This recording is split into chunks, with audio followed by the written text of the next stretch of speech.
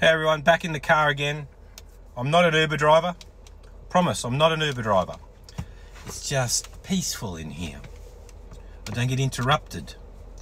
So today I'm going to give you three tips, three tips on how you can make calorie counting for fat loss work for you and to become less of a drag because we all know plugging those meals into MyFitnessPal is a pain in the ass.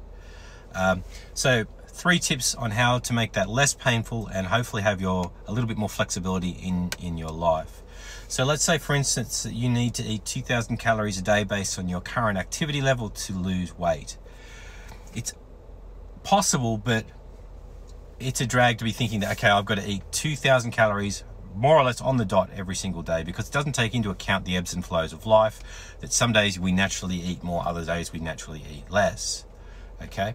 So what I recommend as the first step is to forget about looking at your daily total, but instead look at your weekly total as an average.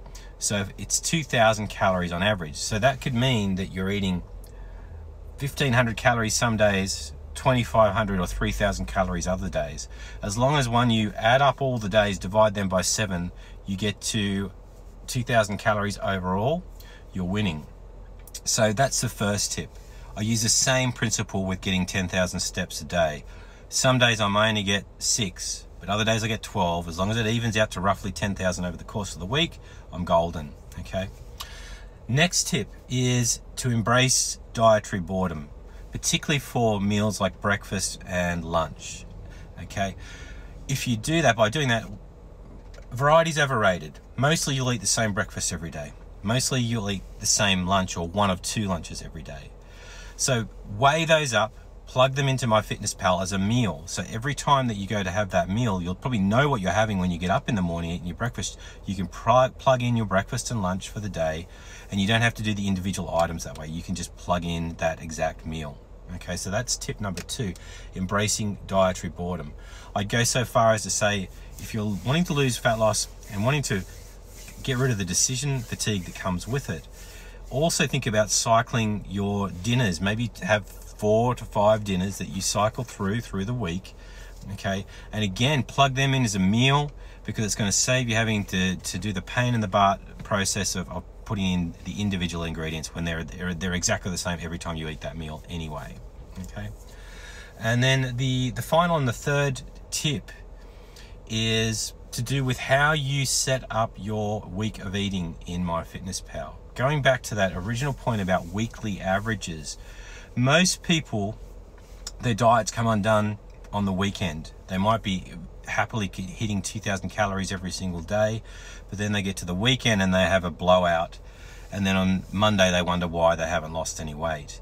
So, what I suggest is for food tracking, start your calendar week on a Friday, right before the weekend. Okay, so you're tracking your food Friday, Saturday, Sunday so by the time you get to Monday, you're going to have a very clear view of how many calories you've got left if you want to hit that 2000 calorie average, how many calories you have left between Monday and Thursday. If it's only 250 calories left a day, you know that you've got to do some major adjustment. I'm not suggesting that you should eat 250 calories a day.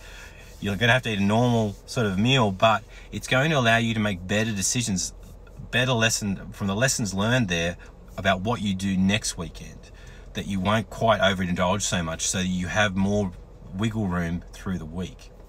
So those are the three tips again. Use the law of averages there.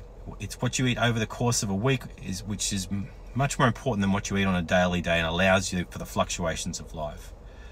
Two is to embrace dietary boredom. Plug those two or three meals in to MyFitnessPal so you don't have to do the work every single time. And then three is think about starting your calendar week for dietary logging on the weekend, on a Friday, so that you're more accountable with your food choices over the weekend so that you still have wiggle room left from Monday to Thursday. So, hope this helped out, guys. Um, I'll be back with another video soon. If you dug it, uh, click like, share it with anyone who may benefit. Ciao.